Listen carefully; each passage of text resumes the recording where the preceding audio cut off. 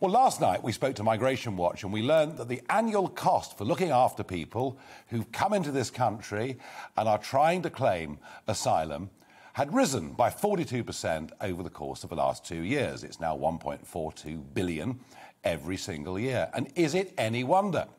With 12,500 people so far this year that have crossed the English Channel, the numbers keep going up and up. Now, when I first started looking at this early in 2020, it seemed to me that the numbers coming would rise massively. And the main reason was that deportations of those who came across the channel, whose claims for asylum failed, that deportations were only about 5%. It seemed to me you might as well put a sign on the White Cliffs of Dover saying, everybody welcome, doesn't matter who you are, and you won't be deported. And of course, that's been a boon to the criminal gangs who've made millions and millions out of trafficking people over the English Channel. But we learn overnight that deportations of those who come to Britain illegally because their claims have failed, those deportations were running at 15,000 people a year back in 2012. The numbers have gone down and down and down.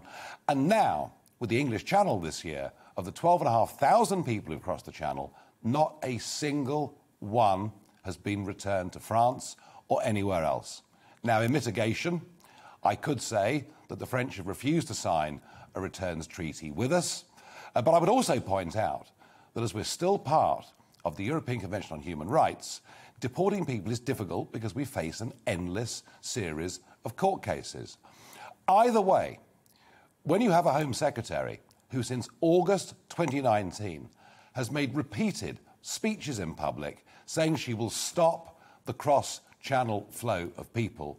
Tonight, I have to ask the question Has Priti Patel failed? Welcome to the GB News YouTube channel. You can watch us live 24 hours a day, catch up on your favourite shows, and join in the conversation in the comments below. Don't forget to subscribe and you'll never miss any of our exclusive content.